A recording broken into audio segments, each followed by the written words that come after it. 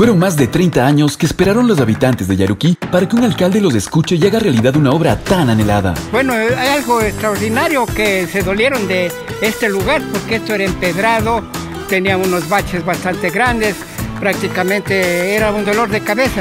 Quedó listo el primer tramo de intervención de la calle Luis Payares, que beneficia a más de 6.000 habitantes de los barrios Chauti Estancia, Otón de Vélez, San Vicente, entre otros. Las malas condiciones de la vía y los peligros de movilizarse en ella ya es cosa del pasado. Las frutas y verduras que se producen en los sectores de San Vicente y Otón de Vélez en la parroquia de Yaruquí ahora llegarán en buen estado a su destino, gracias a los trabajos de rehabilitación vial.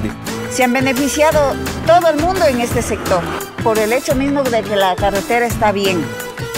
Sería bueno que nos unamos especialmente para cuidar eh, el beneficio que es para nosotros.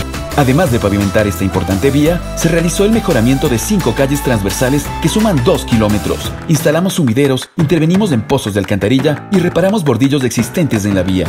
El proyecto es amigable con el medio ambiente. En esta vía intervenimos en las áreas verdes y plantamos árboles nativos de la zona como son los árboles de arupos, de flor rosada y cucardas. Para resguardar la seguridad de los usuarios, se implementaron 2.830 metros cuadrados de señalización vial. Se colocaron 8 señales verticales, 6 líneas de pare y 2 cruces.